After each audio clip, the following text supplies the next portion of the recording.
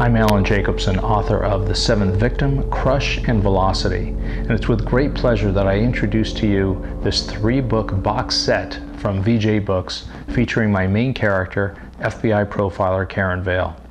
Karen Vail is a character that I conceived of during my initial seven years of research with the FBI profiling unit in Quantico. Uh, I felt that it really, I, I really needed all that time and work and research to develop a credible character like Karen Vail, uh, somebody who is believable in the field of, of behavioral analysis. Um, and I also needed to know how the profiling unit operates, what it is that they do, how they do it, how they uh, interact as a team, what it's like for Karen Vail as a woman to function in, in a largely dominant male society, this, the behavioral analysis unit. Uh, and I also needed to fully understand how these serial killers operate.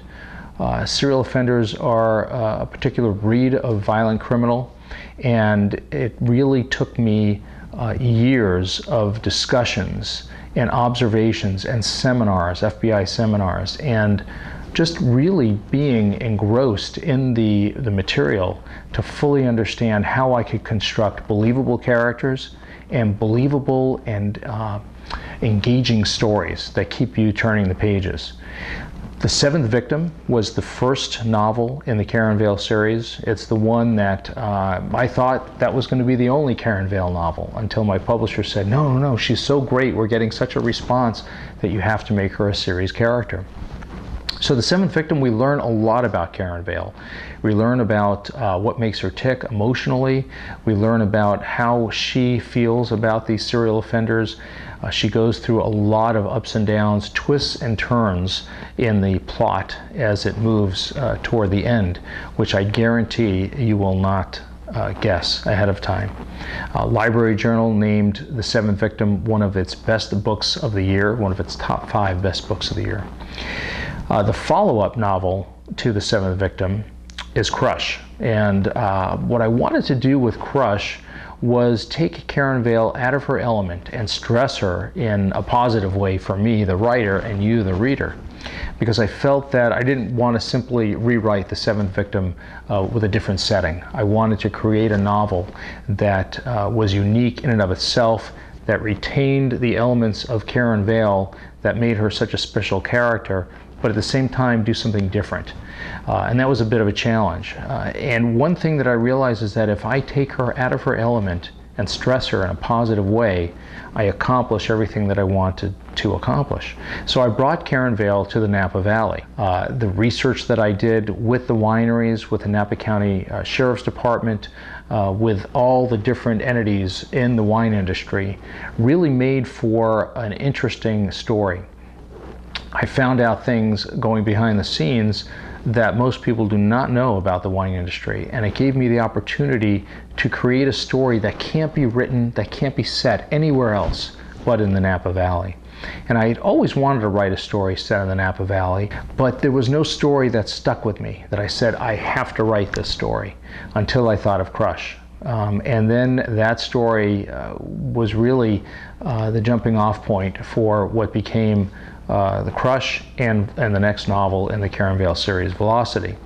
Uh, so Crush integrates Napa in, into the story in a way that Napa actually becomes a character in the story. And it's got an ending just like The Seventh Victim that uh, you won't forget. Velocity is the third book in the series. And Velocity pretty much picks up where Crush left off. Karen Vail is um, dealing with a serial killer in the Napa Valley who appears to be related in some ways to the serial killer that she was tracking in Crush. But along the way, she's lost something, and it's something that is very important to her. She is trying to conduct this investigation with the task force to find the serial killer, but also find this missing object. Unfortunately, she's called back to Quantico because there's a case uh, of vital importance to the behavioral analysis unit, and they're shorthanded, so Vail must return to Washington.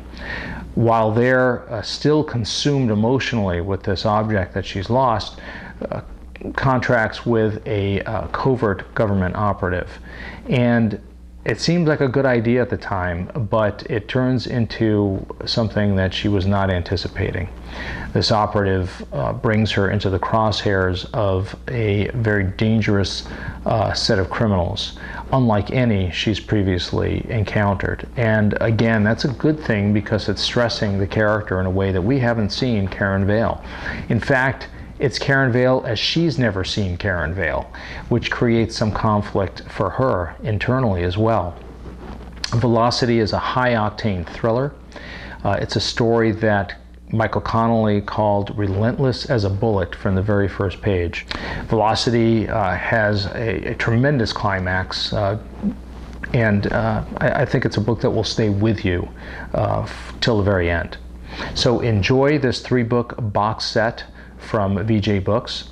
And uh, one last note on my website, alanjacobson.com or safetybooklet.com, you'll find a free 23 page personal safety booklet that I co wrote with FBI profiler Mark Safarik. It's chock full of safety tips and information for you and your loved ones. Download it, read it, and most of all, stay safe.